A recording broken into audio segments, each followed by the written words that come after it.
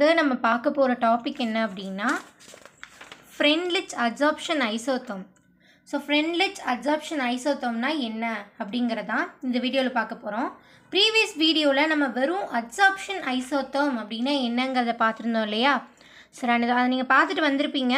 பார்க்கல அப்படின்னா டிஸ்கிரிப்ஷனில் அண்டு கமெண்ட்டில் பிளேலிஸ்ட்டு பின் பின் கொடுத்துருக்கேன். பின் பண்ணி வச்சுருக்கேன். லிங்க்கு அதை கிளிக் பண்ணி பார்த்துக்கோங்க. சரியா? சரி. அப்சார்ப்ஷன் ஐசோத்தோமில் நம்ம என்ன பார்த்தோம்? அப்சார்ப்ஷன் ஐசோத்தோம்ங்கிறது ஒரு கைண்ட் ஆஃப் கர்வ் இதில் வந்து எக்ஸ்டெண்ட் ஆஃப் அப்சார்ப்ஷனுக்கும் ப்ரெஷருக்கும் எகெயின்ஸ்டாக கான்ஸ்டன்ட் டெம்பரேச்சரில் கிராஃப் பிளாட் பண்ணுவோம் அப்படின்னு பார்த்தோம் இல்லையா? ஸோ இதில் என்ன சொல்லலாம் அப்சார்ப்ஷன் ஐசோத்தோம் அப்படின்னாலே? நம்ம ப்ரெஷரை இன்க்ரீஸ் பண்ண இன்க்ரீஸ் பண்ண அந்த கேஸஸோட ப்ரெஷரை நம்ம இன்க்ரீஸ் பண்ண இன்க்ரீஸ் பண்ண அந்த கேஸ் வந்து அப்சார்ப் ஆகிற ப்ராசஸும் வந்து இன்க்ரீஸ் ஆகும். கான்ஸ்டண்ட்டான டெம்பரேச்சரில் இதுதான் அப்சார்ப்ஷன் ஐசோத்தோங்கிறது ஸோ அட் கான்ஸ்டன்ட் டெம்பரேச்சரில் ப்ரெஷர் இன்க்ரீஸ் பண்ண இன்க்ரீஸ் பண்ண அப்சார்ப்ஷன் ப்ராசஸ் இன்க்ரீஸ் ஆகும். இதுதான் அப்சார்ப்ஷன் ஐசோத்தோம் ஸோ இங்கே வந்து ப்ரெஷர் நமக்கு இன்க்ரீஸ் ஆக இன்க்ரீஸ் ஆகிற டைரக்ஷன் இதுதான். And extent of absorption increase ஆகிற டைரக்ஷன் இது. ஸோ பாருங்கள் ப்ரெஷர் அதிகமாக ஆக எக்ஸ்டெண்ட் ஆஃப் அப்சார்ப்ஷனும் மேலே ஹையராகவே போயிட்டுருக்கு ஸோ இது ஜீரோ ப்ரெஷரில் இவ்வளோ வேல்யூ இருக்குது அப்படின்னா அடுத்து இங்கே ஒரு ப்ரெஷரில் எக்ஸ்டெண்ட் ஆஃப் அப்சப்ஷன் இவ்வளோ இருக்குது அடுத்த ப்ரெஷரில் எக்ஸ்டெண்ட் ஆஃப் அப்சப்ஷன் இவ்வளோ ஸோ ஹையர் ஆகிட்டே போகுது. ப்ரெஷர் அதிகமாக இதைத்தானே பார்த்தோம் அப்சப்ஷன் ஐசோத்தமில் ஸோ அப்சப்ஷன் ஐசோத்தமில் நிறைய சயின்டிஸ்ட் வந்து டிஃப்ரெண்ட்டான அப்சப்ஷன் ஐசோத்தம்ஸ் பற்றின இன்ஃபர்மேஷன்ஸ் வந்து ப்ரப்போஸ் பண்ணியிருக்காங்க. இதில் ஃபர்ஸ்ட் ப்ரப்போஸ் பண்ணவர் தான் ஃப்ரெண்ட்லிச் அப்படிங்கிறவர். அவர் என்ன ப்ரப்போஸ் பண்ணியிருப்பார் அப்படின்னா ஒரு மேத்தமெட்டிக்கல் ஈக்குவேஷன் தான் ப்ரப்போஸ் பண்ணியிருப்பார். இந்த மேத்தமேட்டிக்கல் ஈக்குவேஷன் எதை பொறுத்து அப்படின்னா இந்த ப்ரெஷர் வேரி ஆகுது இல்லையா? அப்போது இந்த எக்ஸ்டெண்ட் ஆஃப் அப்சப்ஷன் எவ்வளவு இருக்கும் அப்படிங்கிறத மேத்தமேட்டிக்கலாக வந்து ப்ரொப்போஸ் பண்ணியிருக்காரு. ஸோ நார்மலாக அப்சார்ப்ஷன் ஐசோத்தோம் அப்படின்னா ப்ரெஷர் இன்க்ரீஸ் பண்ண இன்க்ரீஸ் பண்ண எக்ஸ்டெண்ட் ஆஃப் அப்சார்ப்ஷன் இன்க்ரீஸ் ஆகும். ஃப்ரெண்ட்லிச் வந்து அந்த ப்ரெஷர் இன்க்ரீஸ் பண்ண இன்க்ரீஸ் பண்ண எக்ஸ்டெண்ட் ஆஃப் அப்சப்ஷன் எவ்வளோ தூரம் இன்க்ரீஸ் ஆகும் அப்படிங்கிறத மேத்தமெட்டிக்கல் ஈக்குவேஷனாக கொடுத்துருக்காரு. ஸோ ஃப்ரெண்ட்லிச்சுங்கிற என்ன ப்ரப்போஸ் பண்ணியிருக்காரு நைன்டீன் நாட் நைனில் variation of extent of absorption with pressure at a particular temperature given mathematically so particular டெம்பரேச்சரில் ப்ரெஷர் இன்க்ரீஸ் பண்ண இன்க்ரீஸ் பண்ணால் எக்ஸ்டெண்ட் ஆஃப் அப்சார்ப்ஷன் வேரி ஆகிறத மேத்தமெட்டிக்கல் ஈக்குவேஷனாக ப்ரப்போஸ் பண்ணியிருக்காரு. ஓகே ஸோ இவர் வந்து இந்த ப்ரெஷர் ப்ரெஷரை வந்து த்ரீ கேட்டகரிஸை ஸ்ப்ளிட் பண்ணி அதில் எக்ஸ்டெண்ட் ஆஃப் அப்சப்ஷன் எப்படி இருக்குங்கிறத சொல்லியிருக்காரு. Low pressure medium pressure high pressure அப்படின்னு. சரியா? ஸோ ஃபர்ஸ்ட் லோ ப்ரெஷர் பார்க்கலாம். ஸோ எக்ஸ்டெண்ட் ஆஃப் சாரி இந்த அப்சார்ப்ஷன் ஐசோத்தம்லேயே லோ ப்ரெஷர் அப்படின்னா இங்கே ஸ்டார்டிங் பாயிண்ட் ஜீரோ இதிலிருந்து இது வரைக்கும் கொஞ்சம் தூரம் இருக்கிறது தான் லோ ப்ரெஷர் இதிலிருந்து இது வரைக்கும் இருக்கிறது மீடியம் ப்ரெஷர் இதுக்கு மேலே இருக்கிறது ஹை ப்ரெஷர் ஓகேவா ஸோ அதில் பாருங்கள் ஸோ இதே கிராஃப் தான் நான் இங்கே பின்னாடி ட்ரா பண்ணியிருக்கேன் so extent of absorption which means amount of gas அப்சார்ப்டுன்னு கூட சொல்லலாம் எக்ஸ்டெண்ட் ஆஃப் அப்சார்ப்ஷனை ப்ரெஷருக்கு எகென்ஸ்டாக நம்ம கிராஃப் பிளாட் பண்ணியிருக்கோம் இதில் குறிப்பிட்ட ப்ரெஷர் வரைக்கும் இந்த எக்ஸ்டெண்ட் ஆஃப் அப்சார்ப்ஷன் பாருங்கள் ஒரு ஸ்ட்ரெயிட் லைன் மாதிரி தெரியும். ஒரு ஒரு குறிப்பிட்ட ப்ரெஷர் வரைக்கும். ஃபார் எக்ஸாம்பிள் இப்போ இங்கே பாருங்களேன் இதுலேயே. ஸ்டார்டிங்லேருந்து கொஞ்சம் தூரம் ஸ்ட்ரெயிட் லைன் ஆகிட்டு தான் போயிருக்கு அதுக்கப்புறம் தான் நமக்கு பெண்ட் ஆகிருக்கு இல்லையா? அப்போ அந்த ஸ்டார்டிங்லேருந்து கொஞ்சம் தூரம் ஸ்ட்ரெயிட்டாக போயிருக்குல்ல. அதாவது இங்கே ஜீரோ ப்ரெஷர்னா இங்கே zero point zero one zero point zero two இந்த மாதிரி இருக்கலாம். அப்போ அந்த ப்ரெஷர் இன்க்ரீஸாக இருக்க அந்த லோ ப்ரெஷர் ஸ்டார்டிங் பாயிண்ட்டாக இருக்க அந்த லோ ப்ரெஷர் ஏரியாஸ்லாம் ஸ்ட்ரெயிட் லைன் மாதிரி தான் நமக்கு அந்த அப்சார்ப்ஷன் ஐசோத்தம் கிடச்சிருக்கு.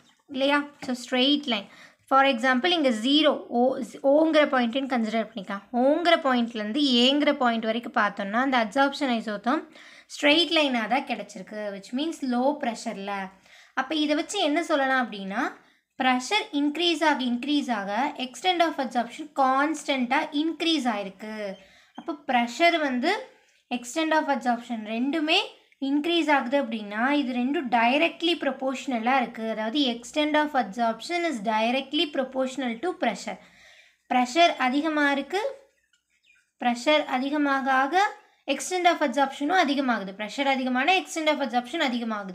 இந்த எந்த பாயிண்ட் வரைக்கும் லோ ப்ரெஷர் வரைக்கும். அதனால X by M directly proportional to பின்னு சொல்லலாமா ஸோ அதை தான் இங்கே ஈக்குவேஷனாக கொடுத்துருக்கோம். ஸோ அட் லோ ப்ரெஷரில் பார்த்தோம்னா graph is almost straight line low ப்ரெஷரில் கிராஃப் ஸ்ட்ரெயிட் லைன் மாதிரி தான் இருக்குது ஸோ அதனால் X by M extent of அப்சார்ப்ஷனுங்கிறது directly proportional to ப்ரெஷர்னு சொல்லலாம். ஸோ தட் ஈக்குவேஷனை எழுதுனா X by M directly proportional to P இந்த ப்ரொபோஷனாலிட்டி சிம்பிளை ரிமூவ் பண்ணால் ப்ரொபோஷனாலிட்டி கான்ஸ்டன்ட் போடுவோம். So X by M equal to KP so இதுதான் லோ ப்ரெஷரில் எக்ஸ்டெண்ட் ஆஃப் அப்சார்ப்ஷன் ஃபைன் பண்ணுறதுக்கான ஈக்குவேஷன் ஓகேவா இந்த எக்ஸ்னா என்ன எம்னா என்னங்கிறதுலாம் நம்ம அப்சார்ப்ஷன் ஐசோத்தம் வீடியோலேயே பார்த்துருப்போம். அது பார்த்துருந்தீங்கன்னா தெரிஞ்சிருக்கும். எக்ஸுங்கிறது என்ன அப்படின்னா எக்ஸ்ட்ரா மாஸ் ஆஃப் அட்சார்பென்ட் எம்ங்கிறது மாஸ் ஆஃப் அட்சார்பேட் கேங்கிறது ப்ரொபோஷனாலிட்டி கான்ஸ்டன்ட் பிங்கிறது ப்ரெஷர் சரியா? இப்போ மேத்தமேட்டிக்கலாக ஃப்ரெண்ட்லிச் வந்து ப்ரெஷரில் லோ ப்ரெஷர் இருக்கப்போ எக்ஸ்டெண்ட் ஆஃப் அப்சார்ப்ஷன் எவ்வளோ இருக்குங்கிறதுக்கு ஒரு மேத்தமேட்டிக்கல் ஈக்குவேஷன் டிரைவ் பண்ணது இதுதான் கொடுத்தது வந்து இதுதான். சரியா? அடுத்து ஹை ப்ரெஷரில் பார்க்கலாம். ஹை ப்ரெஷர் அப்படின்னா இந்த லாஸ்ட் எண்டில் இருக்கிற ஹை ப்ரெஷர் ஸோ இதில் பார்த்தோம்னா அதாவது இந்த பீங்கிற பாயிண்ட்லேருந்து சிங்கிற பாயிண்ட் வரைக்கும். கிராஃப் பாருங்கள் ஸ்ட்ரெயிட்டாக தான் ட்ராவல் ஆகிருக்கு அதாவது எக்ஸ்டெண்ட் ஆஃப் அப்சார்ப்ஷன் வேல்யூ சிமிலராகவே போயிருக்கு. ப்ரெஷர் அதிகமாக ஆக. அப்போ இந்த இடத்துல ப்ரெஷர் எவ்வளோ தான் நம்ம அதிகம் பண்ணாலும் அந்த எக்ஸ்டெண்ட் ஆஃப் அப்சார்ப்ஷன் இதுக்கு மேலே ஹையராக போகலை. ஸ்ட்ரெயிட்டாகவே தான் போயிருக்கு. அப்போ இந்த இடத்துல நம்ம என்ன சொல்லலாம் அப்படின்னா இந்த எக்ஸ்டெண்ட் ஆஃப் அப்சார்ப்ஷன் அதாவது அமௌண்ட் ஆஃப் கேஸ் அப்சார்ப்டுங்கிறது ப்ரெஷரை டிபெண்ட் பண்ணி இல்லை. ஏன்னா சாச்சுரேட்டட் ப்ரெஷர் நம்ம படித்தோம் இல்லையா அப்சார்ப்ஷன் ஐசோதம்லேயே சாச்சுரேட்டட் ப்ரெஷரில் அதாவது இந்த கண்டிஷனில் இந்த இடத்துல சாச்சுரேட்டட் ப்ரெஷர் ஏரியாவுக்கு அடுத்து நம்ம எவ்வளோ தான் ப்ரெஷர் இன்க்ரீஸ் பண்ணாலும் எக்ஸ்டெண்ட் ஆஃப் அப்சார்ப்ஷன் இன்க்ரீஸ் ஆகாது. ஏன்னா இது வந்து ஈக்லிபிரியம் கண்டிஷனை அட்டைன் பண்ணியிருக்கோம் அதாவது நாலு மாலிக்குள் வந்து அப்சார்ப் ஆகுதுன்னா நாலு வந்து டீசார்ப் ஆகிட்டு இருக்கும் அப்படின்னு பார்த்தோம்ல. ஸோ அப்சார்ப்ஷன் டிசார்ப்ஷன் ரெண்டுமே இந்த இடத்துல டேக்ஸ் ப்ளேஸ் ஆகிறனால அந்த எக்ஸ்டெண்ட் ஆஃப் அப்சார்ப்ஷன் வந்து ஈக்குவலாக இருக்காது. Which means sorry extent of absorption வந்து நமக்கு தெரியாது. எவ்வளோ தூரம் எக்ஸ்ட்ரா அடிஷ்னலாக அப்சார்ப் ஆகிருக்க மாதிரி தெரியாது. ஏன்னா இப்போது இந்த இடத்துல எக்ஸ்ட்ரா ஈக்லிபிரியம் கண்டிஷனுக்கு அடுத்து பார்த்தோன்னா இப்போ ஒரு நாலு மாலிக்குள் அப்சார்ப் வருது அப்படின்னா ஆல்ரெடி அப்சார்பாக இருக்க நாலு வந்து டீசார்ப் ஆகிட்டு போயிட்டுருக்கும். அப்படி பார்க்குறப்போ நமக்கு அந்த இடத்துல கரெக்டாக நாலே நாலு மாலிக்குள் தான் அப்சார்ப் கண் அப்சார்ப் மாதிரி நமக்கு தெரியும். நாலு அப்சார்ப் இருக்குது நாலு டிசார்பா இருக்குது அப்படிங்கிறது சைமல்டேனியஸாக நடந்துகிட்ருக்கும் இது ஜஸ்ட் அப்சார்ப் வரப்போ ஒன்று ரிமூவ் ஆகி டிசார்ப் ஆகி போயிடும் அப்போ அங்கே வந்து எக்ஸ்ட்ரா அஞ்சு அப்சார்பாக இருக்க மாதிரிலாம் தெரியாது. ஸோ நாலு நாலு தான் தெரியும் கம்ப்ளீட்டாக அப்போது இந்த இடத்துல பிங்கிற சி பாயிண்டில் அதாவது ஹை ப்ரெஷர் ஏரியாவில் எக்ஸ்டெண்ட் ஆஃப் அப்சார்ப்ஷன் ப்ரெஷரை டிபெண்ட் பண்ணி இல்லை. ப்ரெஷர் எவ்வளோ தான் அதிகம் பண்ணாலும் எக்ஸ்டெண்ட் ஆஃப் அப்சார்ப்ஷன் சேமாகவே தான் போயிட்டுருக்கு. புரியுதா உங்களுக்கு? ப்ரீவியஸ் வீடியோ பார்த்துருந்தீங்கன்னா இப்போ உங்களுக்கு தெளிவாக புரிஞ்சிருக்கும். அப்போ இதுலேருந்து என்ன சொல்லலாம்? அட் ஹை ப்ரெஷரில் graph becomes almost constant graph வந்து கான்ஸ்டண்ட்டாக போயிட்டுருக்கு.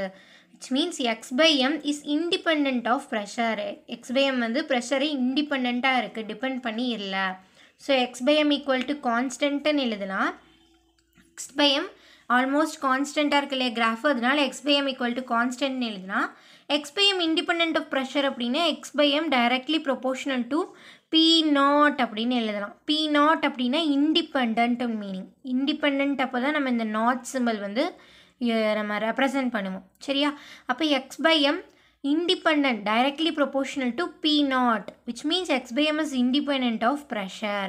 இப்போ p naught ஓட வேல்யூ வந்து ஒன் அப்போ எக்ஸ் பை எம் வந்து நமக்கு கான்ஸ்டன்ட் கேன்னு கிடைக்கும். அதாவது இந்த ப்ரொபோஷனாலிட்டி சிம்பிள் ரிமூவ் பண்ணோன்னா X by M is equal to கேபின்னு கிடைக்கும். கே பி நாட்னு கிடைக்கும். பி நாட்டோட வேல்யூ ஒன் அப்போ X by M equal to K அதாவது X by M equal to constant அப்படின்னு வரும். இல்லையா அப்போ நம்ம இந்த proportionality P naught sorry P naught equal to ஒன்று சப்ஸ்டியூட் பண்ணலை அப்படின்னா நமக்கு ஈக்குவேஷன் என்ன வரும்? X equal to K P naught so அப்போ ஹை ப்ரெஷரில் கிராஃப் வந்து கான்ஸ்டண்ட்டாக இருக்குது which means X by independent to ப்ரெஷராக இருக்குது so that X is equal to K P naught அப்படிங்கிற ஈக்குவேஷனை ஃப்ரெண்ட்லிச் வந்து ஹை ப்ரெஷருக்கு மேத்தமேட்டிக்கலாக கிவன் கொடுத்துருக்காரு. சரியா? இப்போ லோ ப்ரெஷரில் எக்ஸ்பிஎம் கண்டுபிடிக்கிறக்கான கண்டுபிடிக்கிறதுக்கான ஈக்குவேஷன் பார்த்துட்டோம். ஹை ப்ரெஷர்லேயும் பார்த்துட்டோம். அடுத்து மீடியம் ப்ரெஷர் அதாவது in between the high pressure and low pressure இது ஹை ப்ரெஷர் ஏரியா இது லோ ப்ரெஷர் ஏரியா அடுத்து இந்த இடம் இருக்கு இல்லையா? இதுதான் இந்த மீடியம் ப்ரெஷர் ஏலேருந்து பி வரைக்கும். இதிலிருந்து இது வரைக்கும் உள்ள இந்த ப்ரெஷர் இதுதான் இந்த மீடியமாக இருக்க ப்ரெஷர் அப்போ இங்கே பார்த்தோன்னா நமக்கு ஸ்ட்ரெயிட் லைனாகவும் இல்லை கான்ஸ்டண்ட்டாகவும் இல்லை. ஒரு கேர்வ் மாதிரி பெண்ட் ஆயிருக்கு.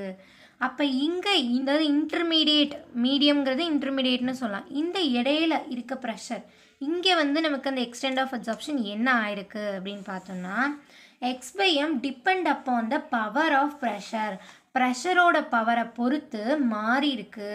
ப்ரெஷர் ஆஃப் ப ப்ரெஷரோட பவர் அப்படின்னா இப்போ இந்த ப்ரெஷர் ஏங்கிற பாயிண்ட் இருக்கு இல்லையா? இந்த ஏங்கிற பாயிண்டில் இருக்க இந்த ப்ரெஷர் வேல்யூவும் இந்த பிங்கிற பாயிண்டில் இருக்க இந்த ப்ரெஷர் வேல்யூவும் எதுக்குள்ளே இருக்கும் அப்படின்னா நியர்லி ஜீரோலேருந்து ஒன் வரைக்கும் இருக்கும். ஜீரோவில் இருந்து ஒன் வரைக்கும் இருக்கும். மேக்ஸிமம் பார்த்தோன்னா ஜீரோ பாயிண்ட் ஒன்லேருந்து ஜீரோ பாயிண்ட் ஃபைவ் ப்ரெஷராக தான் இருக்கும். இந்த இந்த இன்டர்மீடியேட் ரேஞ்ச் வந்து ஜீரோ பாயிண்ட் ஒன்லேருந்து ஜீரோ பாயிண்ட் ஃபைவாக தான் இருக்கும். அப்போ ஜீரோ பாயிண்ட் ஒன்னுக்கு கம்மியாக இருக்கிறதெல்லாம் லோ ப்ரெஷர் ஜீரோ பாயிண்ட் ஃபைவ்க்கு அதிகமாக இருக்கிறதெல்லாம் ஹை ப்ரெஷர் அப்போ ஜீரோ பாயிண்ட் ஒன்லேருந்து ஜீரோ பாயிண்ட் ஃபைவ்க்குள்ளே தான் அந்த ப்ரெஷரோட பவர் ப்ரெஷரோட வேல்யூ இருக்குது அப்படின்னா அதை நம்ம எப்படி டினோட் பண்ணுவோம் அப்படின்னா ஒன் பை என் அப்படின்னு ஒரு ஒரு டேர்மில் வந்து டினோட் பண்ணுறோம் ப்ரெஷரோட பவரில் அப்போ X by M is directly proportional to pressure zero point ஒன்லேருந்து ஜீரோ பாயிண்ட் ஃபைவ் வரைக்கும். அப்போ நம்ம அதை வந்து ஒன் பை என் அப்படிங்கிற ஒரு டேர்மில் டினோட் பண்ணிடலாம். இங்கே நம்ம zero point one to zero point ஃபைவ்னு எழுதக்கூடாது. ஒன் பை என்னு டினோட் பண்ணிடலாம். ஸோ தட் இந்த எண்ணுங்கிறது எதை டினோட் பண்ணுது அப்படின்னா இது ஒரு ஹோல் நம்பர் இது எதை பொறுத்து இருக்கும்? ஹோல் நம்பர் அப்படின்னா one two three four five இதில் ஏதோ ஒரு நம்பர்ஸாக இருக்கலாம். இது எதை பொறுத்து இருக்கும் அப்படின்னா நம்ம அந்த அப்சார்ப்ஷன் ப்ராசஸில் யூஸ் பண்ணக்கூடிய அப்சார்பேட் அண்ட் அப்சார்பெண்ட்டை பொறுத்து இந்த ஹோல் நம்பர் எண்ணோட வேல்யூ மாறும். அப்போ இந்த எண்ணோட வேல்யூ நம்ம என்ன போடுறோமோ அதை நம்ம இந்த ஒன்னால் டிவைட் பண்ணோம் அப்படின்னா நமக்கு கண்டிப்பாக இந்த ஜீரோ பாயிண்ட் ஒன்லேருந்து ஜீரோ பாயிண்ட் ஃபைவ்க்குள்ளே ப்ரெஷர் வரும். ஃபார் எக்ஸாம்பிள் இப்போ இந்த எண்ணுங்கிற number whole value number whole number value வந்து டூவாக இருக்குதுன்னு வச்சுக்கலாம். அப்போ P power one by two அப்படின்னா zero point five pressure power zero point five அப்படின்னு வருமா? ஸோ இந்த மாதிரி நம்ம இந்த ப்ரெஷரோட வேல்யூ ஜீரோ பாயிண்ட் ஒன்லேருந்து ஜீரோ பாயிண்ட் ஃபைவ்க்குள்ளே தான் இருக்கும். அதுக்கேற்ற மாதிரி ஹோல் நம்பராக தான் இந்த என் வேல்யூ வந்து இருக்கும். சரி அந்த என் வேல்யூங்கிறது அந்த அப்சார்ப்ஷன் ப்ராசஸில் இருக்க அந்த அப்சார்ப்ஷன் அண்ட் அப்சார்பேட் அப்சார்பென்ட் அதை பொறுத்து வேல்யூஸ் மாறும். ஸோ அப்போ இது என்ன சொல்லலாம்? டேர்மா X by M depend upon the power of pressure intermediate ரேஞ்சில் ப்ரெஷரோட பவரை பொறுத்து டிபெண்ட் பண்ணி இருக்குது விச் லைஸ் பிட்வீன் ஜீரோலேருந்து ஒன் ஜீரோலேருந்து இந்த ப்ரெஷர் வந்து ஜீரோலேருந்து ஒன் வரைக்கும் தான் இருக்கும். மேக்ஸிமம் பார்த்தோன்னா ஜீரோ பாயிண்ட் ஒன்லேருந்து ஜீரோ பாயிண்ட் ஃபைவ்க்குள்ளே தான் இருக்கும். அப்போ ஃப்ராக்ஷனல் பவர் ஆஃப் த ப்ரெஷர்னு கூட சொல்லலாம். Depend upon the power of the ப்ரெஷர்னு சொல்கிறத விட ஃப்ராக்ஷனலாக இருக்க பவர் ஆஃப் ப்ரெஷர் அப்படின்னு கூட சொல்லலாம். புரியுதா? அப்போ X by M proportion directly proportional to P power one by N அப்படின்னா ப்ரொபோஷனாலிட்டி சிம்பிள் ரிமூவ் பண்ண. X by M equal to K P power one by N இதுதான் intermediate range which means medium மீடியமாக இருக்க ப்ரெஷருக்கான equation வந்து ஃப்ரெண்ட்லெட்ஸ் drive பண்ணது. ஓகேவா so இதுதான் ஃப்ரெண்ட்லிச் அப்சார்ப்ஷன் ஐசோத்தம் அப்போது இதை இதில் நம்ம பார்த்தோன்னே இந்த கிராஃபில் நம்ம அதே மாதிரி அப்சார்ப்ஷன் ஐசோத்தம் ட்ரா பண்ணுறோம் ப்ரெஷருக்கும் எக்ஸ்பைஎம்முக்கும் பிளாட் பண்ணுறோம் இந்த மாதிரி ஒரு ஒரு கிராஃப் கிடைக்கிது கர்வ் கிடைக்கிது. இதுலேருந்து இது வரைக்கும் ஸ்ட்ரெயிட் லைனாக இருக்குது அப்போ இது வந்து low pressure area X by M equal to K P equation படி நம்ம ஃபைன் பண்ணிக்கலாம். எக்ஸ்டெண்ட் ஆஃப் அப்சார்ப்ஷனை அடுத்து இதுலேருந்து இது வரைக்கும் இருக்கிறது வந்து medium pressure intermediate range so அதோட ஈக்குவேஷன் இங்கே எழுதியிருக்கு. அண்ட் இதுக்கு மேலே இருக்கிறது high pressure X by M equal to K P naught அதாவது இங்கே இண்டிபெண்ட் ஆஃப் த ப்ரெஷர் இங்கே டைரக்ட்லி ப்ரொபோஷனல் டு ப்ரெஷர் இங்கே fractional directly proportional to the fractional power of the pressure சரி அப்போ இது ஹை ப்ரெஷர் இது இன்டர்மீடியட் ப்ரெஷர் இது low pressure இங்கே டெம்பரேச்சர் கான்ஸ்டண்ட்டாக மெயின்டைன் ஆகிட்டு இருக்கு இந்த சிஸ்டமில் அப்போ இந்த பிங்கிற பாயிண்ட் கண்டிப்பாக பிஎஸ் அதாவது சேச்சுரேட்டட் ப்ரெஷராக தான் இருக்கணும். ஏன்னா இந்த ப்ரெஷருக்கு அப்புறம் தான் நம்ம எவ்வளோ தான் ப்ரெஷர் அட்டை இன்க்ரீஸ் பண்ணாலும் எக்ஸ்டெண்ட் ஆஃப் அப்சார்ப்ஷன் அதிகமாக மாட்டேங்குது. அப்போ எந்த எந்த ப்ரெஷருக்கு மேலே அதிகமாக மாட்டேங்குதோ அந்த ஸ்டார்டிங் ப்ரெஷரை தான் நம்ம பிஎஸ் சேச்சுரேட்டட் ப்ரெஷர்னு சொல்கிறோம் விச் மீன்ஸ் ஈக்லிபிரியம் ப்ரெஷர்னு கூட சொல்லலாம். இது நம்ம ப்ரீவியஸ் வீடியோலேயே பார்த்தோம். ஈக்லிபிரியம் ப்ரெஷர் ஒரு சேச்சுரேட்டட் ப்ரெஷர் அப்படின்னு. ஓகேவா ஸோ இதுதான் ஃப்ரெண்ட்லிச் அப்சார்ப்ஷன் ஐசோத்தோம் அண்ட் இதில் இன்னொரு முக்கியமான விஷயம் தெரிஞ்சுக்கணும். என்ன அப்படின்னா நம்ம இன்னொரு கிராஃப் கிராஃப் வந்து பிளாட் பண்ணி இந்த கேங்கிற வேல்யூ என்கிற வேல்யூ ஃபைன் பண்ணணும். அதாவது இங்கே நமக்கு எக்ஸ்டெண்ட் ஆஃப் அப்சப்ஷன் ஃபைன் பண்ணணும் அப்படின்னா கேங்கிற வேல்யூ தேவை. அண்ட் இந்த கேஸ்லேஸ்லாம் பார்த்தோம் அப்படின்னா எண்ணுங்கிற வேல்யூ தேவை. Constant proportionality constant N value ஒரு ஹோல் நம்பர் வேல்யூ ரெண்டுமே தெரியணும் இல்லையா? அதுக்காக நம்ம ஒரு ஈக்குவேஷன் இந்த ஈக்குவேஷன் இருக்குது இல்லையா? இந்த ஈக்குவேஷனில் நம்ம என்ன பண்ணுறோம் அப்படின்னா இதை வந்து லாக் லாக் எடுத்து ஒரு ஈக்குவேஷன் ஆட்ட ஸ்ட்ரெயிட் லைன் ஈக்குவேஷன் மாதிரி கொண்டு வந்து அதுலேருந்து நம்ம ஸ்லோப் மூலியமாக இந்த N one by N value அதாவது என் வேல்யூ ஃபைன் பண்ணுற மாதிரி பார்க்குறோம். அதாவது இப்போ இங்கே பார்த்தீங்கன்னா தெரியும். So calculation of K and N of the absorption isotherm so இந்த ஈக்குவேஷனில் இருக்க என் வேல்யூவும் கே வேல்யூவும் நம்ம ஃபைன் பண்ணணும் அப்படின்னா அதுக்கு நம்ம என்ன பண்ணுறோம் அப்படின்னா இந்த ஈக்குவேஷனில் ரெண்டு சைடும் லாக் எடுக்கிறோம். So taking log on both sides both sides எடுத்தோம் அப்படின்னா log X by m equal to log k power one by என்னு வரும். அப்போ log K P power one by என்னுங்கிறது log AB ஃபார்மேட்டில் இருக்குது அப்போ log A B equal to log A plus log B அதனால log K plus log P power one by என்னு தனியாக பிரித்து எழுதிடும் அடுத்து என்ன பண்ணுறோம் அப்படின்னா இந்த பவரில் இருக்க ஒன் பை என் வந்து முன்னாடி வந்துடும் so one by N log பின்னு வருமா? ஸோ இதை வந்து egg Y axis X axis எடுத்து ஸ்ட்ரெயிட் லைன் ஈக்குவேஷன் படி எழுதுறோம். அதாவது straight line ஈக்குவேஷனான Y equal to M X plus C ஃபார்மெட்டில் எழுதுனா ஒய்ங்கிறது லாக் எக்ஸ் பை எம்மாக இருக்கும். எக்ஸுங்கிறது லாக் பியாக இருக்கும். ஸ்லோப் எம் வந்து ஒன் பை என் இன்டர்செப்ட் வந்து லாக் கேவாக இருக்கும். இப்போ கிராஃப் பிளாட் பண்ணுறோம் லாக் எக்ஸ் பை எம் வந்து ஒய் ஆக்சிஸில் எடுத்துக்கிறோம். லாக் பி வந்து எக்ஸ் ஆக்சிஸில் எடுத்துக்கிறோம். கிராஃப் பிளாட் பண்ணுறது ரெண்டுக்கான வேல்யூஸ்க்கு அப்போ நமக்கு இந்த மாதிரி ஒரு ஸ்ட்ரெயிட் லைன் கிடைக்கிது. ஜீரோங்கிற பாயிண்ட்லேருந்து ஆரம்பிக்கல. கொஞ்சம் அதிகமான X by M log X by M வேல்யூலேருந்து start ஆகுது. ஸ்ட்ரெயிட் லைனாக போயிருக்கு. அப்போ இந்த பாயிண்ட்டு தான் அந்த இன்டர்செப்ட்னு நம்ம சொல்லக்கூடிய லாக் கேவோட வேல்யூவாக இருக்கும். இந்த ஸ்டார்டிங் பாயிண்ட்டு அடுத்து இங்கேருந்து நம்ம ஸ்லோப் எடுத்தோம் அப்படின்னா ஸ்லோப் வந்து நமக்கு பாசிட்டிவ் ஸ்லோப்பாக தான் வரும். ஸோ இந்த மாதிரி நம்ம லாக் எக்ஸ் பை எம்க்கும் லாக் பிக்கும் இடையில ஸ்லோப் எடுத்தோம் அப்படின்னா ஸ்லோப் எடுத்துகிட்டு நம்ம அந்த டிவிஷன் பண்ணுற வேல்யூ அதாவது log X by M divided by log P நம்ம போட்டோம்னா ஸ்லோப் கிடைக்கும் இல்லையா? அந்த கிடைக்கிற வேல்யூ வந்து ஒன் பை என்னாக இருக்கும். ஸோ இந்த மாதிரி நம்ம ஒன் பை என் வேல்யூ அதுக்கு ஈக்குவேட் பண்ணி என்கிற வேல்யூவை நம்ம ஃபைன் பண்ணிடலாம். லாக் இந்த வேல்யூ லாக் கேவாக எடுத்து அதுலேருந்து ஆன்டி லாக் கன்வெர்ட் பண்ணி கேங்கிற வேல்யூவையும் ஃபைன் பண்ணிடலாம்.